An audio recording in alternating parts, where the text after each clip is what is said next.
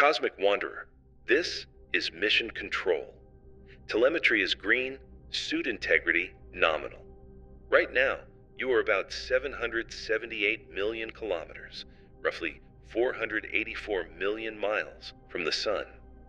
You are in low orbit above Jupiter and cleared to begin the descent sequence. Ahead of you is the largest planet in our system. Remember, your suit is rated as virtually indestructible.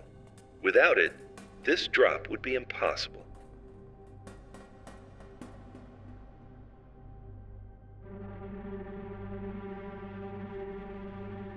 Here, you can see the soft band of the Milky Way arcing across your visor, our entire galaxy flattened into a glowing disk of dust and stars.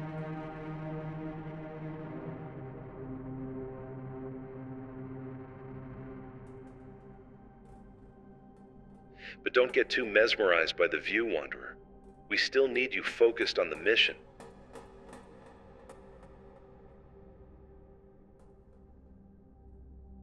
As you descend, you'll pass through Jupiter's faint, almost invisible rings. They're made of dust and small fragments, not like Saturn's bright ice rings. On your left, coming into view, is the biggest storm in the solar system, the Great Red Spot. That vortex has raged for centuries, large enough to swallow Earth whole. Reminder without that special suit, you'd already be dead. The radiation around Jupiter is so intense, it would kill an unprotected human about 300,000 kilometers out, roughly the distance between Earth and the Moon. You're closing in on the cloud tops. Stand by. You're about to enter the upper atmosphere. Bright, white ammonia clouds. These are the high, cold cloud decks that you're now piercing through. Gravity is pulling you down much harder than on Earth, about two and a half times stronger, so your fall speed is rapidly increasing. The scene around you should now look dimmer, like an overcast day on Earth with a brownish tint.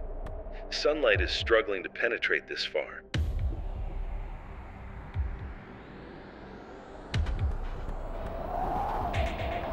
You're dropping into a second cloud layer composed of sulfur and ammonium hydrosulfide. These clouds give Jupiter its deeper brown and yellow tones. Going deeper still, sunlight can no longer reach you effectively. Your surroundings are fading toward complete darkness. From here on, any flashes of light you see will likely be lightning from powerful storms hidden in the clouds.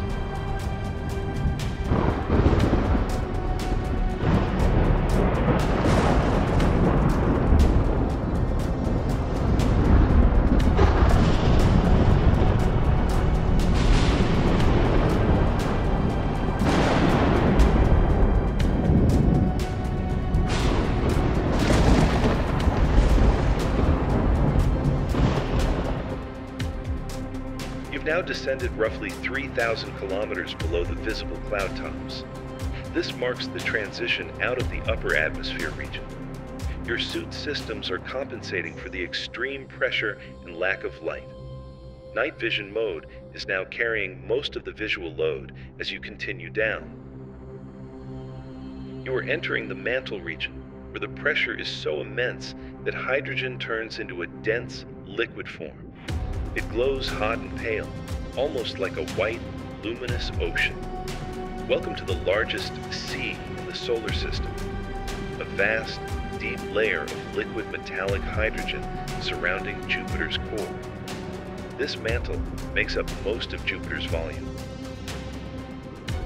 Even at your current velocity, you would sink for months before reaching the core region.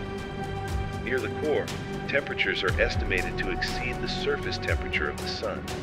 This is a place no human body could ever survive without your suit's theoretical protection. After a very long descent, you finally approach the core, an extreme environment of crushing pressure and unimaginable heat, hidden forever beneath Jupiter's swirling clouds.